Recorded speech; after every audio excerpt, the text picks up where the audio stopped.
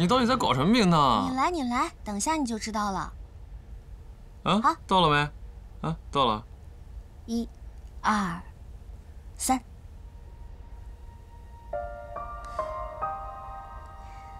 你那天晚上我也不知道怎么回事，拼了命就想把这海报给拿回来。后来我才知道，那个时候正好是你要离开的时间。是无论我怎么去找，那一块我还是没有找到。你等等。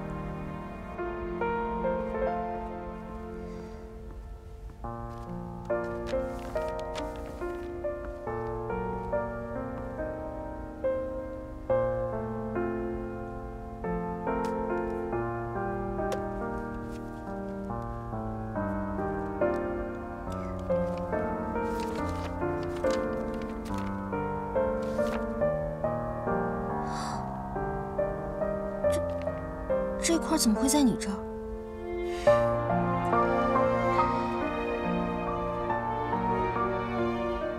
你就是我生命中缺失的那一角。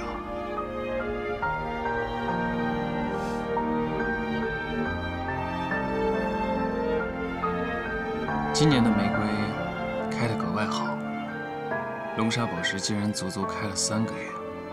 大家说，这可能是为了庆祝我升职。我现在已经是总监了，你也该替我高兴吧？总监？看来我不在的时候，他们对升职这件事儿也开始放水了。什么放水啊？我现在是公司的实力担当，好不好？好。公司外的草坪上开了一片小雏菊，我想你了。小雏菊代表着藏在心底的爱，可如果再给我一次机会，我绝对不会把对你的爱再藏在心底。我要再一次向你表白，再一次别念了，和你分享我最美丽的秘密，让你知道我究竟有多爱你。不行，别念了，我都忘记我什么时候写的了，怎么会写的这么肉麻啊？